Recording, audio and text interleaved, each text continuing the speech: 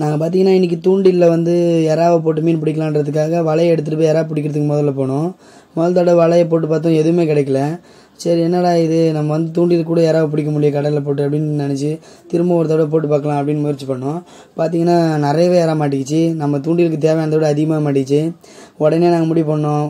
இப்போ நம்ம எறா பிடிச்சிட்டு போய் மீன் பிடிக்கிறத விட இந்த எறாவை பிடிச்சி வித்தாலே நல்ல காசு கிடைக்கும் அப்படின்ட்டு வெறும் எறா மட்டும் பிடிச்சிட்டு போயிடலாம் அப்படின்னு ஐடியா பண்ணோம். நாங்கள் எதிர்பார்த்தது அந்தளவுக்கு ஒன்றும் சக்ஸஸ் ஆகலை. பார்த்தீங்கன்னா ஒரு குறிப்பிட்ட இடத்துல மட்டும்தான் இறா கிடச்சிது. ஆனால் கொஞ்சம் அதிகமாகவே கிடச்சிது. நம்ம தூண்டிலுக்கு தேவையான அளவுக்கு பார்த்திங்கன்னா தொட்டிக்குள்ளேயும் போட்டுட்டோம். யாராவது வந்து தூண்டிலுக்கு தேவையானதை விட நிறையவே இருக்குது இப்போ பார்த்திங்கன்னா அந்த அளவுக்குலாம் வந்து ஒரு குறிப்பிட்ட வலையை தாண்டி அதுக்கு மேலே யாராக வரல. வலை முழுக்க யாராவது பார்த்தவொடனே நாங்கள் போட்டில் எல்லாருமே ரொம்பவே சந்தோஷமாயிட்டோம். இதே மாதிரி வலை முழுக்க கிடைச்சாலே போதும். இன்றைக்கி தேவையான தொழிலுக்கு தேவையான வருமானம் கிடைச்சிரும் அப்படின்னு முடிவு பண்ணோம்.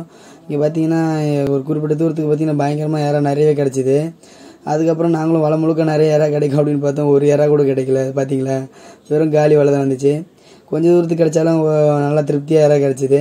இப்போ பார்த்தீங்கன்னா தொட்டிக்குள்ளே எவ்வளோ இறா இருக்குது அப்படின்னு காட்டுறேன் பாருங்கள் தூண்டிலுக்கு தேவையானதை விட அதிகமான இறாவே நாங்கள் தொட்டிக்குள்ளே போட்டு வச்சுருக்கோம். தெரியுதுங்களா உங்களுக்கு? தூண்டில் போட்டு மீன் பிடிக்கலான்றதுக்காக தான் இன்றைக்கி கடலுக்குள்ளேயே வந்தோம்.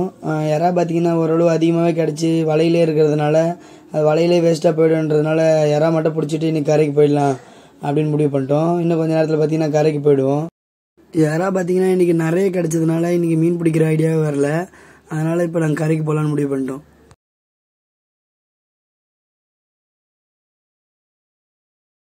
கரைக்கு போனோடனே பார்த்தீங்கன்னா நம்ம படகு பக்கத்துலேயே வேற ஒரு அண்ணன் வந்து படகு நிறுத்தியிருந்தாரு. அப்படி என்ன இதில் பிரமாதம்னு பார்த்தீங்கன்னா அந்த அண்ணன் பார்த்தீங்கன்னா வெறும் நிறைய சிங்க இறால் பிடிச்சி வச்சிருந்தாரு. பார்த்தீங்கன்னா ரொம்பவே சந்தோஷமாயிடுச்சு. சூப்பர்ண்ணா வேறு லெவலில் சிங்க பிடிச்சி பிடிச்சிட்டு வந்துட்டீங்க அப்படின்னு சொன்னேன். அவருக்கு அவர் என்னன்னா இது என்னென்னப்பா பிரமாதம் இதோட ஸ்பெஷல் ஐட்டம்லாம் இருக்குது அப்படின்னாரு. அப்படி என்னென்ன ஸ்பெஷல் ஐட்டம் இருக்குது அப்படின்னு கேட்டேன். இதில் பார்த்தீங்கன்னா சிங்க இறாலில் பார்த்தீங்கன்னா மொத்தமே நாலு வகையான இறா இருக்குது அதில் மூணு வகையான இறால் இன்றைக்கி கிடச்சிருக்குப்பா பாருப்பா அப்படின்னாரு.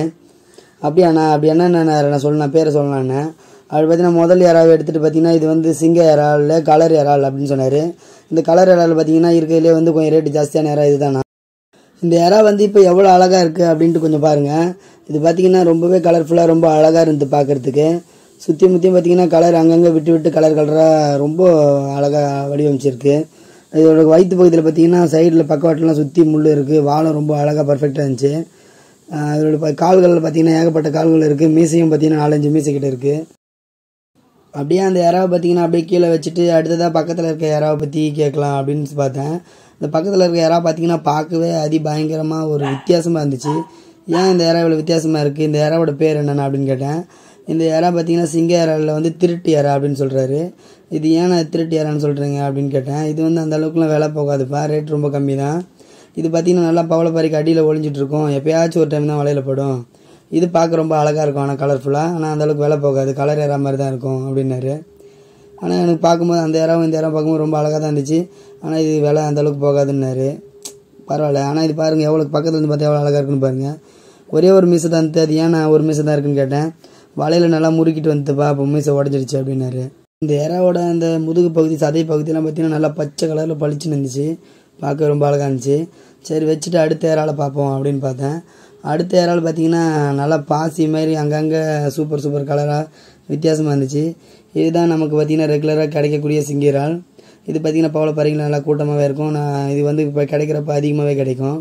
பார்த்திங்கன்னா இந்த இறாவோட பக்கவாட்டு முட்களை பாருங்கள் எவ்வளோ பயங்கரமாக கொடூரமாக இருக்குது பாருங்கள் நம்ம கையில் பார்த்திங்கன்னா கையை தொடும் போது பட்டு பட்டுன்னு அடிச்சதுன்னா கையெல்லாம் கிழிச்சிடும் நல்லா. ஃபுல் சதையெல்லாம் பார்த்திங்கன்னா இந்த பதி தான் பார்த்திங்கன்னா ஃபுல் சதை. இந்த சதப்பகுதி தான் பார்த்திங்கன்னா சாப்பிட்றதுக்கு ரொம்ப அருமையாக டேஸ்ட்டாக இருக்கும். மற்றபடி பார்த்திங்கன்னா தலைப்பகுதியெலாம் நீங்கள் எதிர்பார்க்குற அளவுக்கு அந்த அளவுக்கு சதவி எதுவுமே இருக்காது சாப்பிட்ற அளவுக்கு.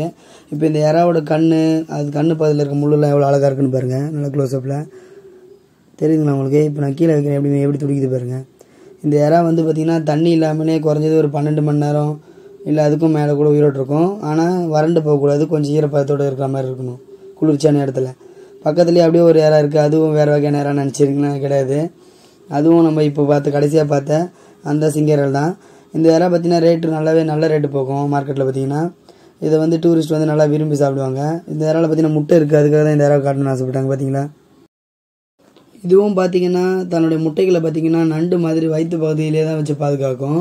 அந்த முட்டைகள்லாம் பொரியிற சீசன் வந்ததுக்கப்புறம் பார்த்தீங்கன்னா அது வயிற்று பகுதியிலேருந்து எல்லாத்தையும் தண்ணியில் அப்படியே பீச்சு விட்ரும் ஒன்று ஒன்று அது எல்லாமே தண்ணியில் அடிச்சுட்டு போய் ஏதாவது ஒரு இடத்துல பொறிஞ்சு பவளப்பாறைங்களை தங்கி வளர ஆரம்பிச்சிடும் போதும் இந்த வீடியோ முடிச்சுக்கலாம் அப்படின்னு தோன்ற நேரத்தில் பார்த்தீங்கன்னா புதுசாக ஒரு வகையான ஒரு உயிரினம் கண்ணில் பட்டுச்சு.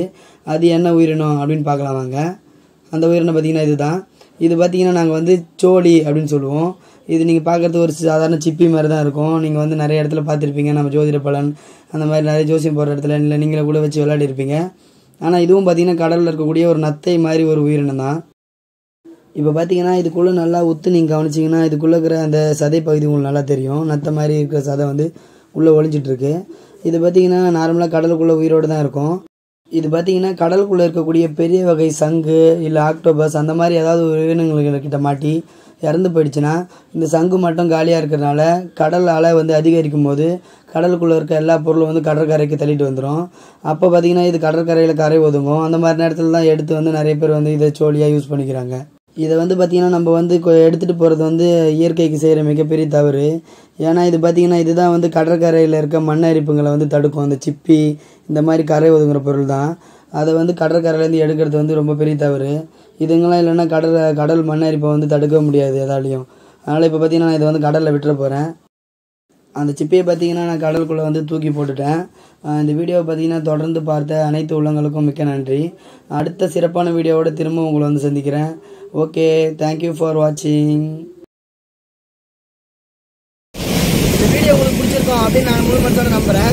அப்படி இந்த வீடியோ உங்களுக்கு பிடிச்சிருந்தா நம்ம வீடியோ கீழே லைக் சிம்பிள் கிளிக் பண்ணிடுங்க.